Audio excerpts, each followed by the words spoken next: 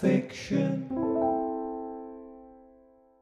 I think there's way, way, way more serendipity for Hamilton than we we even keep saying. Because, oh man, he we, we we could see him going back and and you know just holding off, but then red flags, getting a race restart, getting his his tire swapped, his front wing swapped. What a day was he having?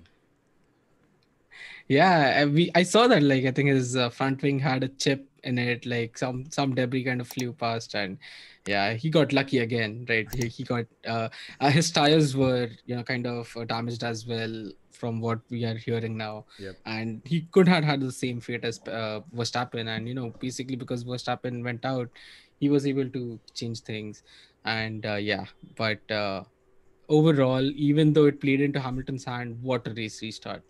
I mean- Definitely, man, man, what a race restart. My heartbeat definitely had a big shoot up right there.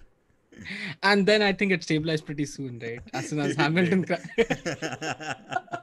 as soon as Hamilton just overshooted uh, turn Yeah. one and you know wasn't able to brake.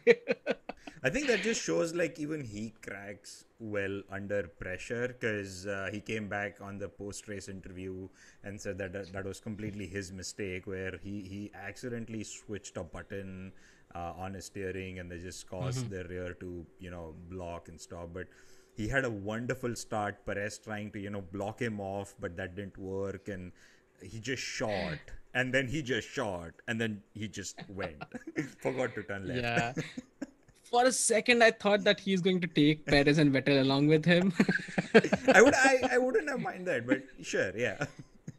yeah, then what? Gasly would have won the race, followed by Charles and then Lando. Wow. Fan fiction.